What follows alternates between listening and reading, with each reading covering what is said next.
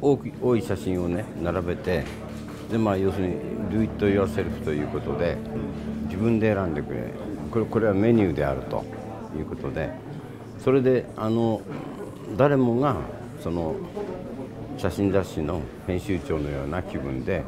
選んでほしいと。あのできるものはほとんど一冊同じものはないんではないかと。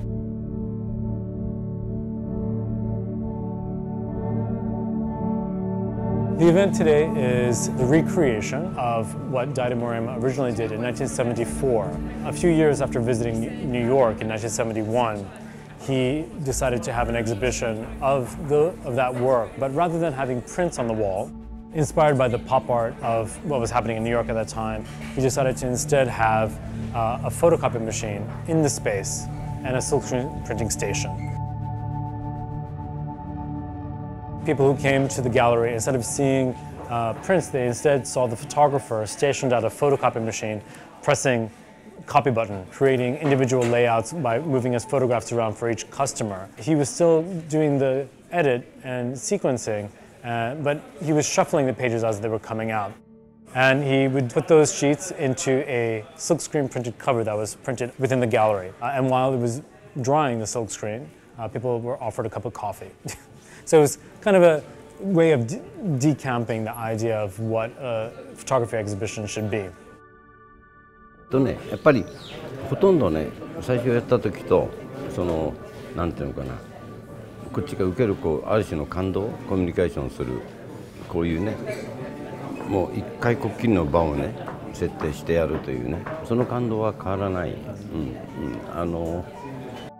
間にしてねなんかこうそれぞれが遊ぶというねそそれが一番面白いところ。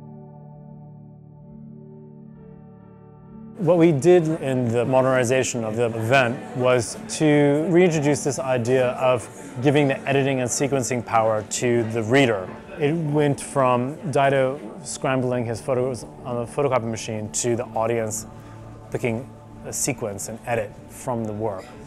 But that is very much in keeping with Dido's larger ideas and larger aesthetics. サインをするときにねまずパッと開くじゃない。ここに来る。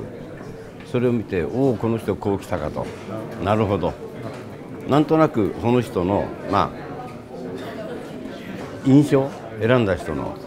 好みみたいなものが分かって面白い、うんうん、本当はね作ってもらったもの全部見てみたいところだね気持ちは、うん、例えばその人のねあの性格あの顔とか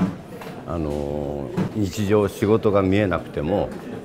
なんかそれを写真を通してそういう一瞬のコミュニケーションがねあると。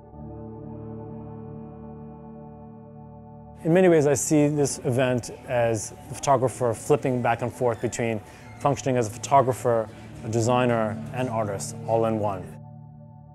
His ability to embrace that and, and allow for all that is, continues to be inspiring. So it's an honor to be able to restage it once again here at the Tate.